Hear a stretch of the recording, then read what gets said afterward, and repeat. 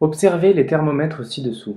Identifiez lequel est en Celsius et lequel est en Fahrenheit. Puis placez-y les points d'ébullition et de congélation de l'eau.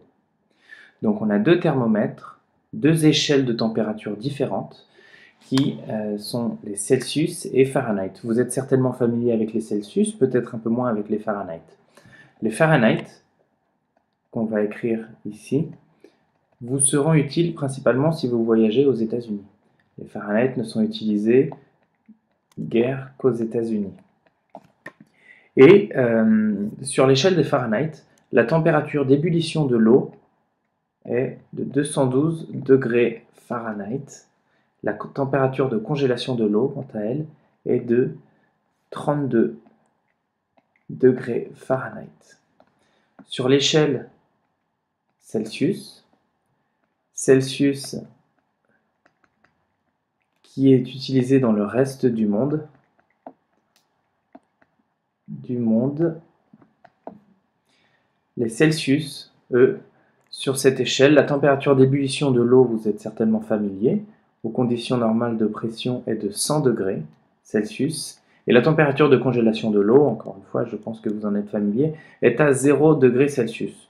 Donc, en regardant euh, ces caractéristiques, la seule question qu'on peut se poser, c'est pourquoi est-ce que les États-Unis n'utilisent pas l'échelle Celsius? Alors, comment va-t-on faire maintenant pour déterminer lequel de ces deux échelles est en Celsius ou en Fahrenheit? Alors, euh, bien que les valeurs ici en Celsius et en Fahrenheit soient différentes, euh, il est évident que l'eau va congeler à la même température. 0 degré et 32 degrés Fahrenheit sont la même température. C'est juste l'échelle qui est différente. Donc, normalement, sur nos deux échelles, on devrait avoir 32 en face de 0 et 100 en face de 212. Regardons. Ici, on a un 0 et en face, on a quelque chose de négatif. Donc, à gauche, ce 0 ne risque pas d'être le 0 des Celsius. On cherche le prochain 0. On est à 0 ici. Et en face, on a 32, quelque chose qui ressemble bien à 32 degrés. On est donc, il semble bien que on soit en degrés Celsius à droite et en degrés Fahrenheit à gauche. Afin d'être certain, on va vérifier avec le point d'ébullition de l'eau. On regarde ici à 100 degrés, 100 degrés Celsius. En face, on est bien à 212 degrés Fahrenheit, comme nous l'indiquait euh, euh, ici.